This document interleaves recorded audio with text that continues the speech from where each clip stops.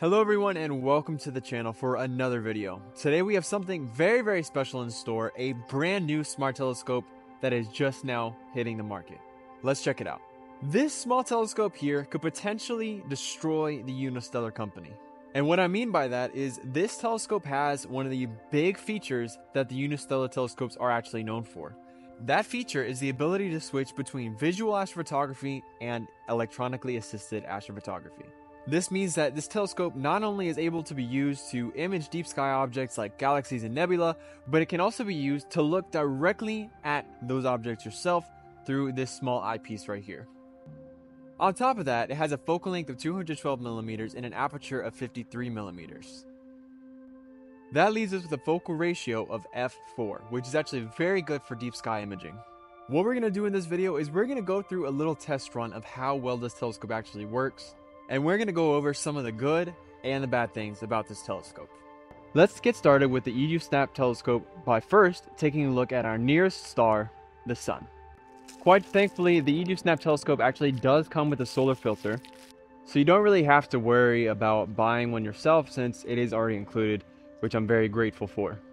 Installation of this filter is quite easy, just like you would use on a standard telescope. Simply remove the lens cap, put it on, and make sure that the filter is well fitted around the lens. Next, I'm assuming we just connect the device. Now, thankfully, to look at the sun, it also does come with an actual uh, solar pinpoint finder. So you just take a look at this little target thing right here. Show you. You let the sun go through the pinhole and it should make a direct point uh, on that target and you'll know when it's centered. Now, I'm not really sure how to use this. It's definitely going to be a tricky thing for me. I guess you just move it around like so. And you can change the speeds. There we go.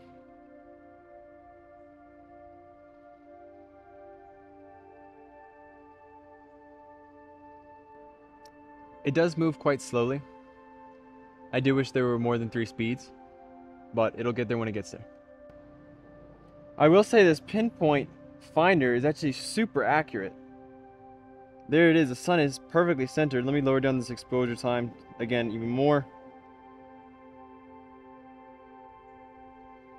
Now, it doesn't have an autofocus function.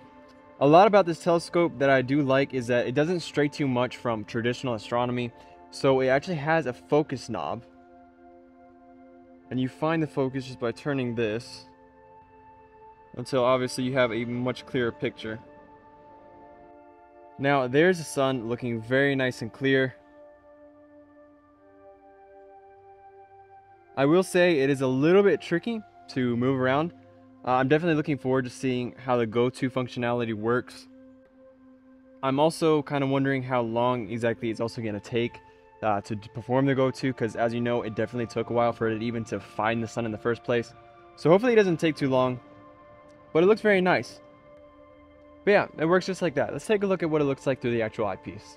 Take a look at this. This is a direct view of the sun from the EDU Snap Smart Telescope and it was really cool being able to see it with my own eyes for the first time. Take a look.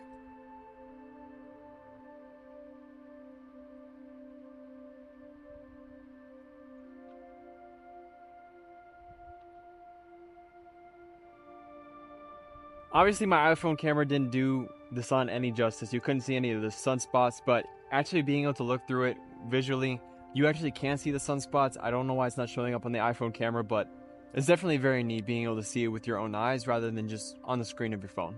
Now, question is, how well is the actual deep sky imaging to work? Let's check that out. The way that I'd first like to test this telescope is on the ever famous C2023 Atlas comet. This comet has continued to get more and more popular every day, not only just with astrophotographers, but with also normal photographers who are able to take a picture of the comet just from their cell phone. I'd like to take a look at it from this telescope, possibly see how well it does with stacking on it, and also take a look at it through the eyepiece with my own eyes. Let's perform a go-to. One tricky thing about this telescope is that in order for you to actually do a go-to for a comet, you kind of just need to look for a deep sky object that's nearby the comet and then manually go to the comet from there. You can't do a direct go-to, they don't have it built into the catalog yet. Like I said, there is a lot of a lag between the telescope and the phone. Currently, I have the telescope set facing towards Messier 12. I'm not sure if that's how you pronounce that word. And since it's not really showing me live feed, I'm now doing a 15 second exposure to see if it's actually well centered on that deep sky object. The thing that I like about this telescope is that it actually uses an app on your phone rather than relying on a battery to do the stacking using an AI algorithm built into the EduSnap app and the instructions for it are honestly very straightforward. As you can see, M12 is right there. So I'm going to attempt to do a go to manually from Messier 12 to the comet. I performed the manual go to, and maybe my eyes are misleading me, but I believe I do see the comet there in the eyepiece. So I'm going to perform another exposure. I'm going to give it about 8 seconds at gain 102, and hopefully I do have that comet centered. Okay, so one thing I noticed right off the bat the camera used within the telescope is the IMX662MC, which is a fairly small sensor, meaning that the field of view of your phone is not going to have the same field of view as the eyepiece. So if you're trying to find something through the eyepiece while looking at it through your phone, it's going to be fairly difficult. So unfortunately, I wasn't actually able to find the comet on the phone, but I am able to see it through the eyepiece, and I'm to show you what that looks like. Okay, here you go, the moment that you've been waiting for, a live view of this comet through this telescope. Take a look.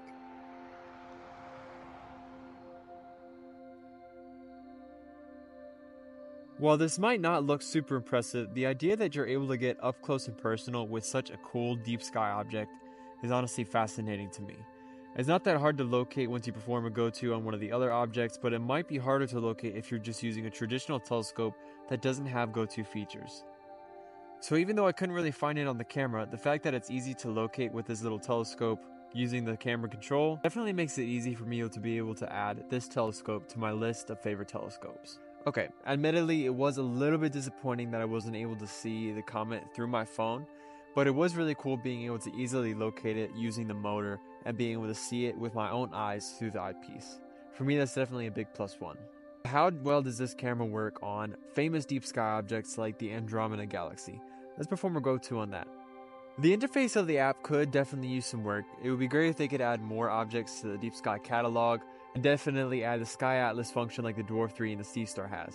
Thankfully, it is pretty easy to look stuff up though. You just go ahead and type it in. I'm going to type in M31 and we're going to perform a go to on that. I will say at least it moves faster doing the go to than it does when trying to locate the sun. Locating the sun takes forever. I know it's helpful because it does allow you to be more precise, but personally, I like things to move a little bit quicker so I can get to viewing much faster.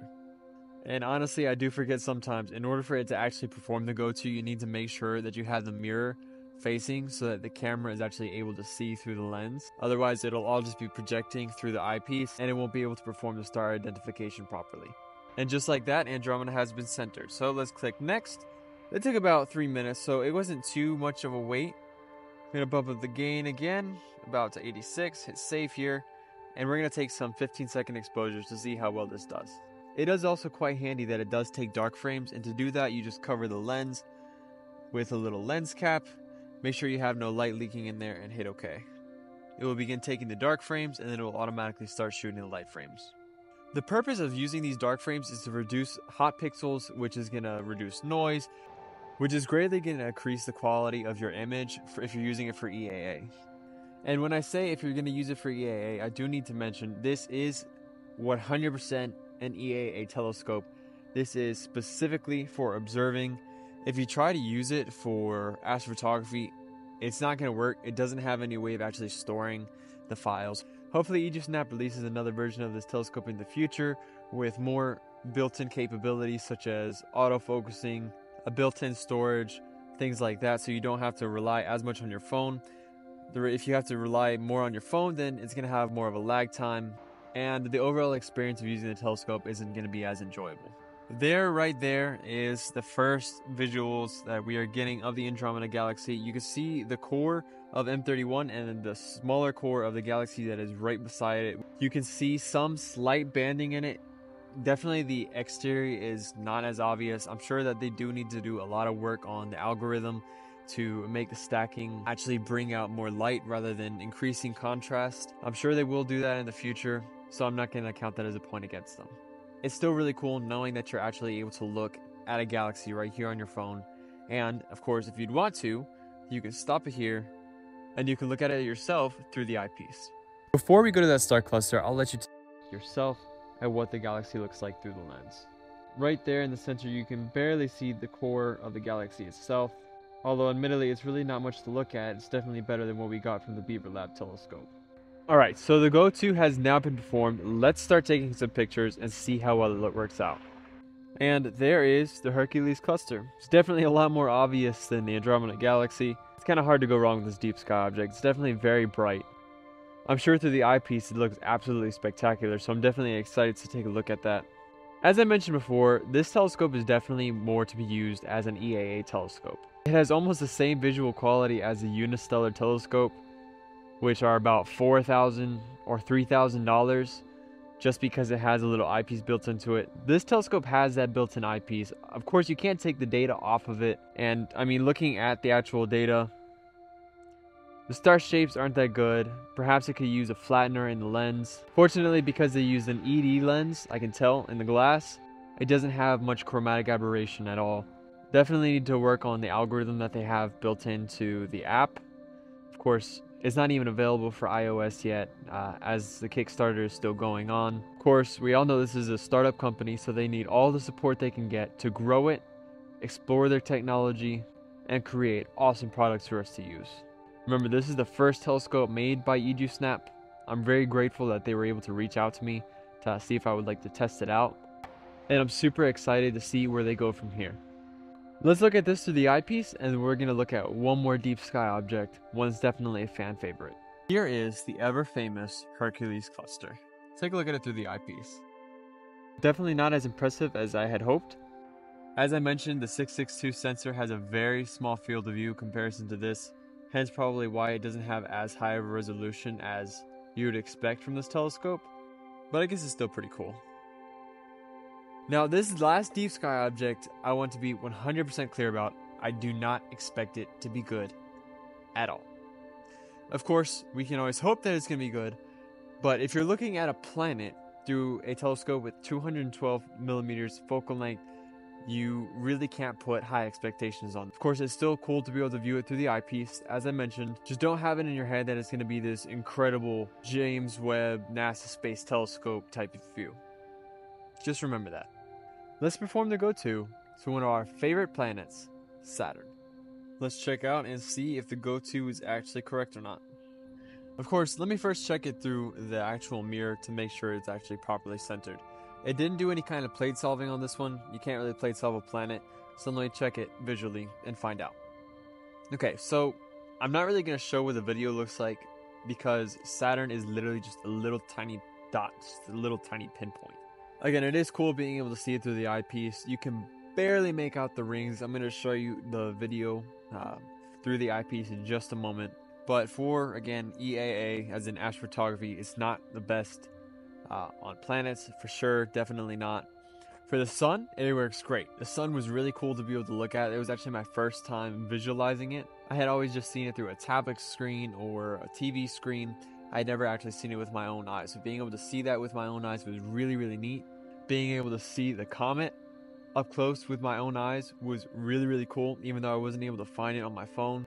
And being able to see Hercules cluster on the phone was really, really neat, even though it was just very, very tiny through the eyepiece. Of course, what's definitely cool about this eyepiece is that you don't have to stick with the 25 millimeter. If you want a higher zoom, you can always change it out for 8 millimeter or 4 millimeter Unfortunately, I don't have one of those right now because mine got covered in dust, so I just figured it would just be best to just stick with the one that they sent here. But the things that I really like the most about this telescope, time to talk a little bit about the pros and cons before I show you what Saturn looked like through here. Pro number one, the auto go-to function is really, really handy, especially if you're not familiar with where deep sky objects are located in the night sky. Pro number two is the price. This is the cheapest smart scope that I have ever seen on the market, apart from Hestia, which I wouldn't technically call the smart scope since it doesn't do the go-to function or anything like that. Currently, I'm pretty sure it's priced at about 136 US dollars for the beginning of the Kickstarter campaign, and once it's done, it's only going to be a price a little bit over 200 bucks, which is again a really really good price for a go-to motorized scope. with a built-in IMX662 camera. Not to mention the fact that you can look through it with an eyepiece like you would be able to with a Unistellar. I would honestly compare this a lot to a Unistellar. Of course, the Unistellar telescopes have a lot more light gathering capabilities. The only good thing about Unistellar telescopes is the fact that you can look through the eyepiece. I wouldn't even use that for EAA, I wouldn't use it for astrophotography because the optical quality is just not good. So the fact that we're basically getting a Unistellar telescope for literally a tenth of the price is mind blowing to me. A lot of these telescope companies kind of need to watch their prices and see if their telescopes are actually worth it. Correct me if I'm wrong. Another pro about this telescope is that you can change out the accessories as much as you want. It has a built-in dew shield, it has a pinpoint hole sun locator, it comes with a tripod with a built-in level. Let's check out and see if the go-to is actually correct or not. Not only that, but the telescope is also interchangeable. If you release this knob, you can take the whole telescope and the camera off, meaning that perhaps in the future, EduSnap will release a larger telescope where you won't have to buy the motor, you can just slap the telescope and camera on there and you'll be good to go. Let's talk a little bit about the cons now. Con number one, it doesn't have a built-in battery. Of course, that would probably bring up the price, and personally, I didn't mind having to buy a $30 pocket juice from Amazon to power my telescope, which lasts for several hours. So, not a lot of complaints there, but it is just one small factor. Con number two it has a very short focal length for a lot of the deep sky objects I like to view, and despite it being a focal ratio of f4, it doesn't have a lot of light gathering capability, as you noticed with the Andromeda Galaxy. Con number three is the fact that it can't actually be used for astrophotography and is specifically used for EAA. However, it's not necessarily a con if you are just getting into astrophotography and into astronomy and you want a telescope where you can just look at stuff. It's easy to go to just to get you started. This is definitely a good choice for you because of the price. All in all, I really, really like what they did with this telescope. I hope to be able to work with them again in the future. They definitely have a really cool concept here, and I'm really excited to see what they're going to do with their products soon in the future. Hopefully you guys enjoyed this video and found it helpful. If you did, please leave a like and subscribe to the channel. Comment down below to let me know what you think about this telescope. And as always, I wish you all clear skies. And before you go, here's a live view of Saturn.